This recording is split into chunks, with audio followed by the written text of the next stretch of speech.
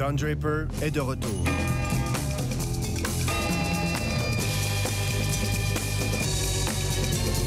Mad Men saison 7.